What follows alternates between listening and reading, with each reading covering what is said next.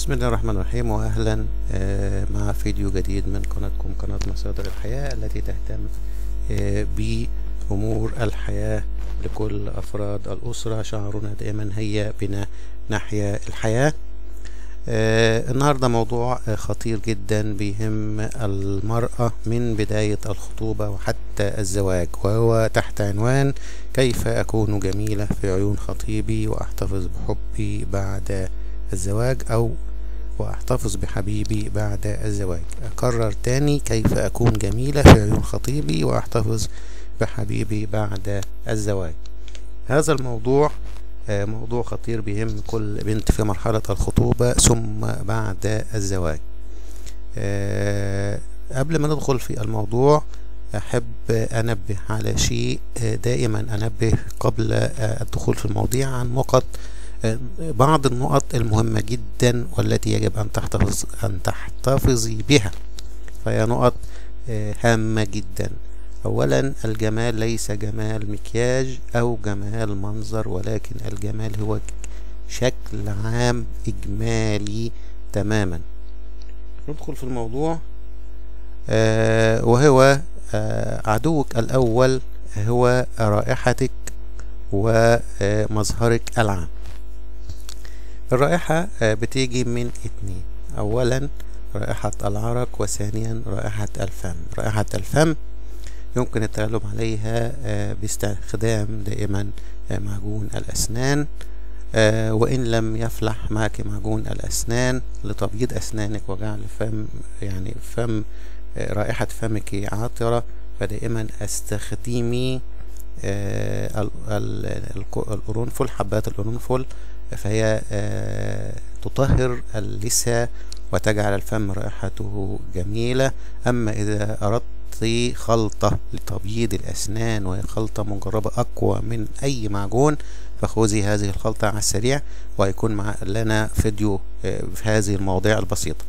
الخلطة عبارة عن آه، baking powder معلقتين baking powder وبتعصري عليها نصف ليمونة. وبتعمليه زي المعجون وبتدعكي أسنانك بالفرشة أو آه، بتدعكي أسنانك بسلاكة ودان نظيفة آه، اللي بتتباع في الصيدليات. آه، بعد مدة بتلاحظي بياض الأسنان ودايما واعلمي في هذه النقطة بالذات إن بياض الأسنان يجعل الضحكة أو الابتسامة أكثر روعة وجمالا. ده شيء أكيد.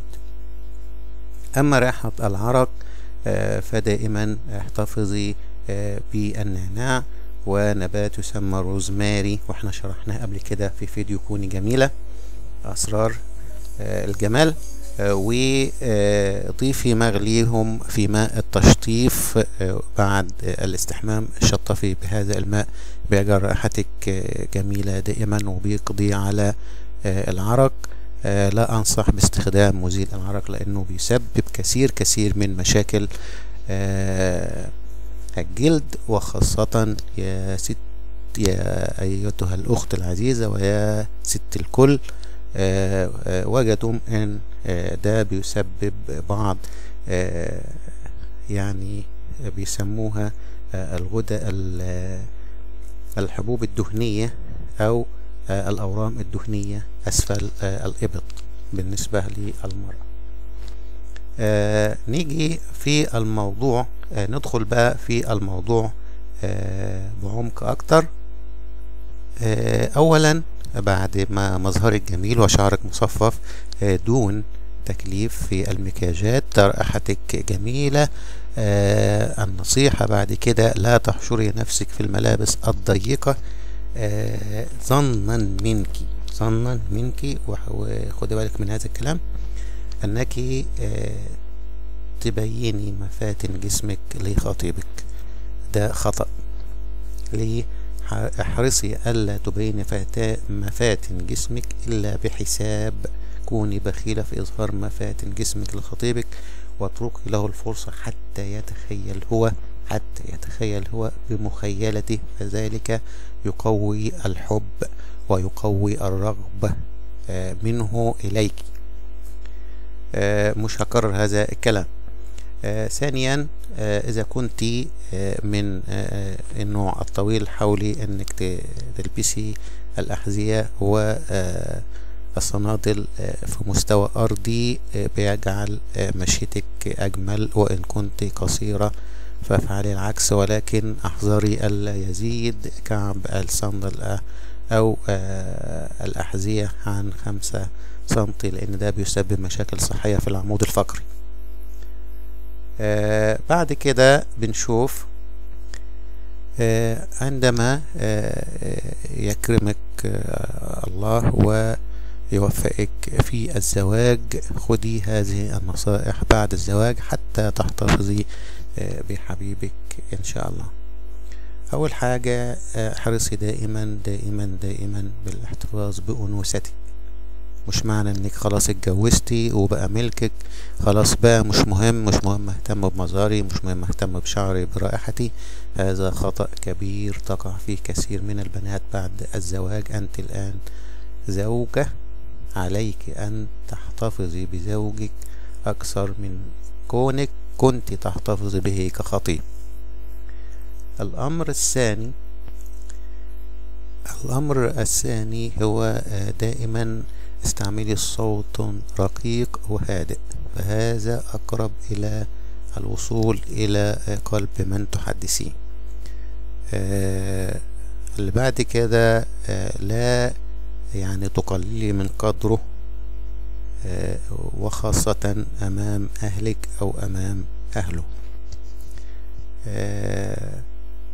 نقطة أخرى احتفظي دائما بنظافتك وجمالك والتنسيق العام لمظهرك. أيضا تنوعي في استخدام العطور. إذا كنت تستخدم العطر فحاولي أن تنوعي ولا تجعلي عطرك نوع آخر. حاولي أن تغيري عطرك ولا يكون العطر نفاذ بشكل يعني يضايق الزوج. إذا كنت على موعد للخروج جهزي نفسك قبل الموعد بساعة لأن الرجال لا تحب الانتظار. عند دخوله إلى البيت حاولي أن تجعلي هدوءا في البيت ولا تزعجيه بالطلبات أو مشاكل الأولاد عند الدخول فهذا مؤذي جدا جدا للرجل. نقطة هامة بين قوسين. اعلمي تماما أن فيه خلاف بين طبيعة الرجل وطبيعة المرأة فالرجل لا يتحول من حالة إلى حالة بسرعة. ولكن بياخد وقت طويل حتى يخرج من حالة إلى حالة بعكس المرأة.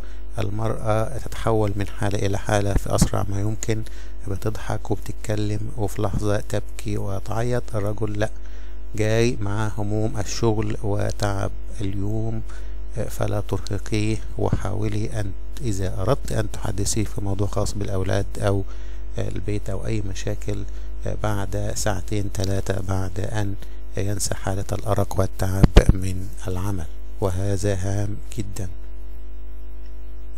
عند الدخول إلى المنزل قلنا هيئي المنزل اجعلي فيه من الهدوء. حاولي أن لا تزعجيه عند الحديث معه لا تجعليه يحس بالغرور أو بالتعالي. فالرجل دائما يحس بغروره. أكثري من الكلمات الجميلة حبيبي عيوني مثل هذه الكلمات الرقيقة تعجب الرجال. دائما تذكري نصيحة بين قوسين هامة الرجل كالطفل الكبير وكلما زاد في السن زاد إحساسه أو الحاجة إلى العطف والحنان لا تحدثي أو تفشي أسراره إلى أي أحد. لا تفشي أسرار العلاقة الزوجية الحميمة. فهذا شيء مكروه وأيضا شيء محرم. دائما حساسية بالرجولة. لا تقللي من شأنه أمام أحد. استخدمي الكلمات اللطيفة والرقيقة. لا تكذبي. فالرجال لا تحب الكذب من النساء. دائما احتفظي بأوقات تقضيها معه أوقات تكون أوقات سعيدة مهما يكن الأمر. ده بيجي بتنظيم وقتك.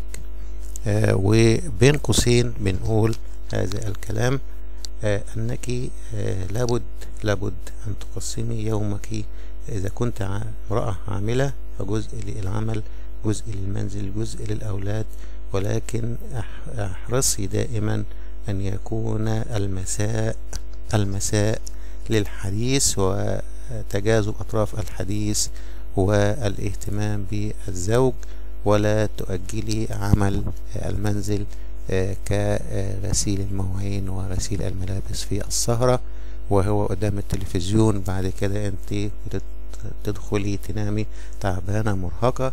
هو بيدخل وكأنه لم يتزوج فاحرصي من هذه النقطة الخطيرة. أه تحدثي معه في الأمور التي يحبها. حاولي أن أه تفعلي الأشياء التي يحبها أه من الأكلات. إذا قدم لك هدايا أو, ما أو خلاف ذلك أو حتى طلبات عادية حاولي أن تشكريه وتحسسيه بأهميته. وإياك أن تحسسيه بعدم ذلك. حاولي دائما أن ترضي اعلمي تماما أن الرجل مثل المرأة يحب المداعبة والمشاكسة الخفيفة. قدمي إليه الغيرة ولكن حاولي أن تحسب أنك تغار عليه ولكن الغيرة المعقولة وليست الغيرة التي تصل إلى حد الشك فهذا يضر العلاقة الزوجية بينكما ضرر كبير. عند الاستعداد لقضاء ليلة جميلة عطري من نفسك يعني حاولي أن تظهري بمظهر جذاب. اهتمي بملابسك الداخلية. فهذا يثير الرجل ويغريه. دائما هيئي نفسك إليه لا تصديه ولكن إذا كان هناك عذر فاعتذري بطريقة لائقة لا تغضبه هذه هي بعض النصائح التي يجب على البنت المخطوبة أن تراعيها لتحتفظ بخطيبها وعلى الزوجة أيضا المتزوجة أن ترعاها حتى تحتفظ بزوجها. وإلى هنا ننهي هذا اللقاء وإلى أن ألقاكم في فيديو آخر. أتمنى لكم الحياة الزوجية السعيدة. ولا تنسوا الاشتراك في قناتنا وأي تعليق نحن سوف نرد عليه بإذن الله تعالى. أشكركم وأترككم في أمن وسعادة. والسلام عليكم ورحمة الله وبركاته.